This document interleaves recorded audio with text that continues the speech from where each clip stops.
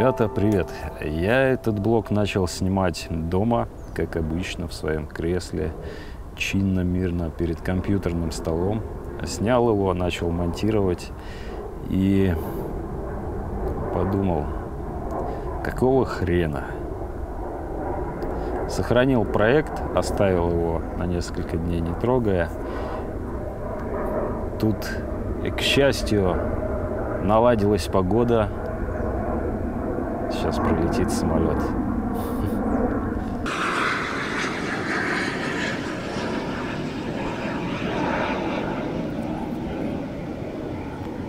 Да, можно продолжать. И, к счастью, наладилась погода. Вот, вышло солнышко. И поэтому я решил, что пора выбраться наружу, поскольку практически несколько месяцев я провел, сидя перед компьютером, весь в проектах.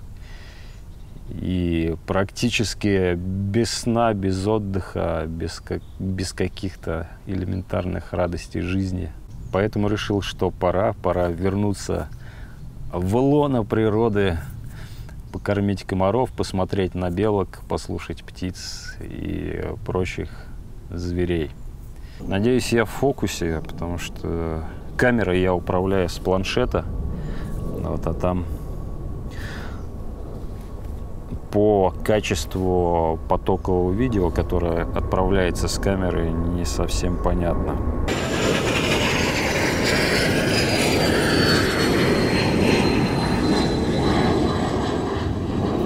Это называется «Я в лес вышел» подышать свежим э, воздухом, отдохнуть от города. Да. Начнем э, с кратких новостей. Первая новость и самая важная, даже это не новость, а просто событие, которое должно было произойти рано или поздно. Я женился. Вот. Это было,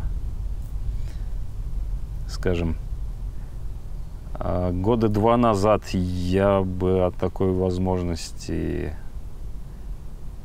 и не смог бы подумать, наверное. Но для меня это было достаточно неожиданно. Второе событие – это очередная командировка э, на кинофестиваль «Кино Ежик». Вот я там уже в третий раз был и с удовольствием, скорее всего, буду участвовать дальше, дальше и дальше. А сколько он, сколько он будет, в принципе, существовать, скорее всего, будет так. Вот. Этот а, кинофестиваль представляет из себя, по большому счету, детский лагерь, в котором участвуют дети примерно от 8 до 18 лет – вот. Они э, распределены на отряды, как это обычно, но еще есть э, кинообразовательные мастер-классы, э, в которых участвуют мои коллеги, актеры, операторы, режиссеры. В целом у нас там происходит полный кинопроизводственный цикл – в котором мы показываем детям и обучаем их, как работать в этой индустрии в принципе. Третья новость, она меня не очень порадовала. Завершился один проект, который когда-то должен был завершиться, он сдан. А не порадовала в том смысле, что, к сожалению, у меня не хватило на него времени. Не хватило времени и сил, потому что параллельно был вынужден а, работать на других проектах. Вот, и, а, соответственно, на него не удалось не удалось потратить а, столько времени, сколько бы было необходимо, и, и времени, и внимания, и, собственно, своих способностей, так сказать. И, соответственно,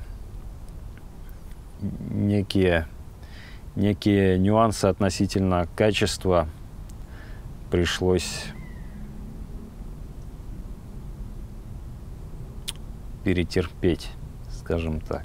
Он был очень тяжелый для меня и съемочный процесс, потому что по большому счету он был достаточно крупный, а, но я работал без ассистента, без какой-то помощи, и э, смены бывало начинались там с 7 утра, заканчивались э, в районе часа ночи.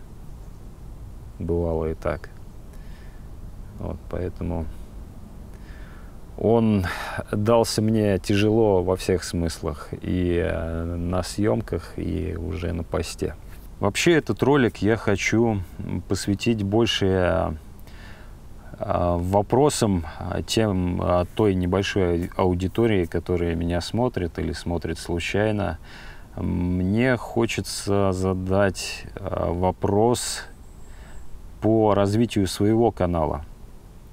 Потому что чаще всего я рассказываю о каких-то вещах довольно не структурированно, именно как э, разговорный блог.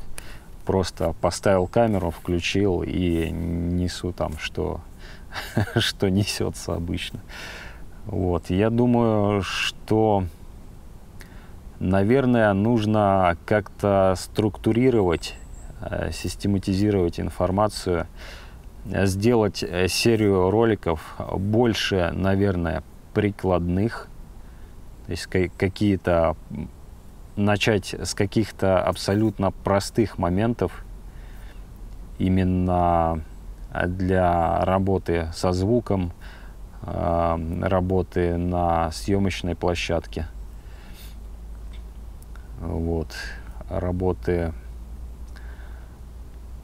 непосредственно с материалом, с отснятым, а, чтобы многим помочь, кто хочет а, заняться, допустим, непосредственно аудиопроизводством, а кто-то хочет к примеру, читать книги, записывать аудиокниги, кто-то, опять же, блоги, как обрабатывать материал там. То есть большинство абсолютно не понимает, а, как, как снять материал, как записать его настолько качественно, чтобы это было приемлемо для конкретного формата.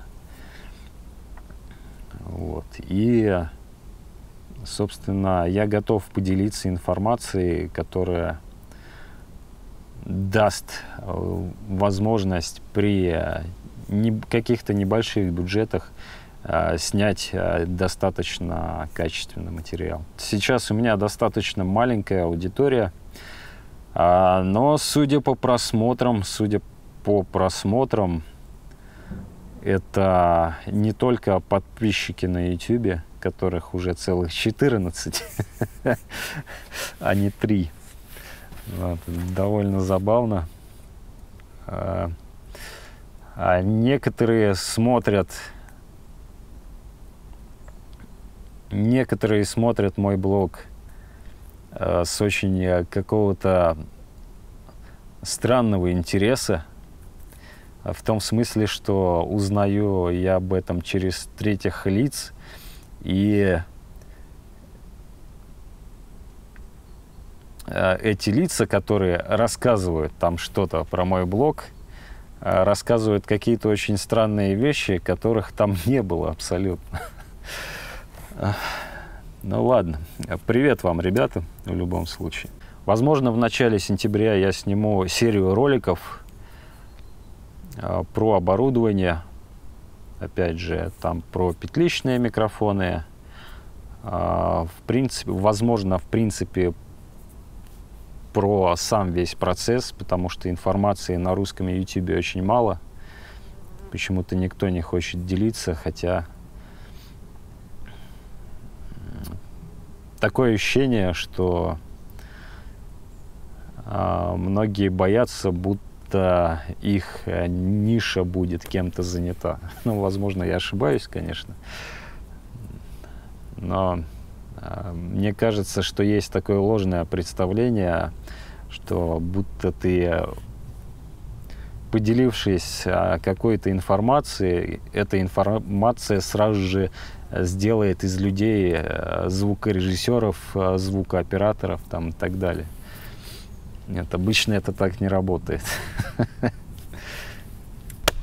Продолжаем разговор. А, во второй половине сентября я буду участвовать в полном метре. Меня пригласил туда мой старый знакомый, который, которого я крайне уважаю.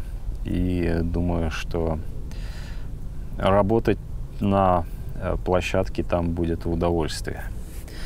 И проект очень интересный. Если э, все получится и все сложится, э, как мне этого хочется, я думаю, поделюсь некоторой информацией и, может быть, даже какой-нибудь бэкстейдж сниму. Вот, я думаю, будет интересно. Вот такие дела, ребята. Дело ближется к закату. Так что я заканчиваю. А от вас в комментариях жду, а какой информации все-таки не хватает какой информации вам хочется увидеть и услышать. А какой информации не хватает на российском YouTube, а ее не хватает, это я точно могу сказать, потому что мне зачастую приходится смотреть а, зарубежных коллег, вот, и то там так все не так подробно, как хотелось бы. Вот, так что а, жду от вас а, такой фидбэк. Вот, мне и самому будет интересно, и я думаю, а, вам будет и интересно, и полезно. Все, пока.